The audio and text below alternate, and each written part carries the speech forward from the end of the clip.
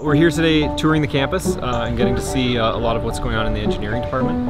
Um, so seeing the lab, uh, getting to see the residences and, and really see what kind of a, a, day in the life is like for some of the students, um, as well as for our students to uh, get to see you know, what's going on here, and, but get to meet some of the, the, the faculty as well and see that uh, it's not so intimidating to, to come to university.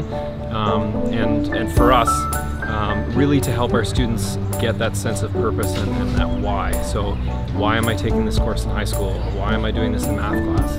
Well, it's about coming to a place like this and then, and then what comes after this. I came here to McMaster for a trip in grade six and I seen them um, just talk about engineering, how you can make like bubblegum flavors and all this stuff and I'm like, that's pretty cool, I think I want to do that. So yeah, that's kind of what sparked my interest.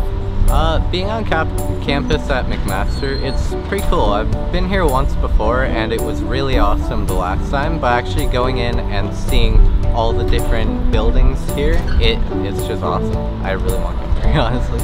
And so for our grade 9s and 10s who are, who are still quite young in high school, it really helps them to see, okay, where, where is my purpose and where is my goal? Where's, or at least where's one of the possible avenues that that I could take uh, after high school. We often don't know where we're going to end up. So coming to a place like this for, for days like today is a really great eye-opener for our students in a variety.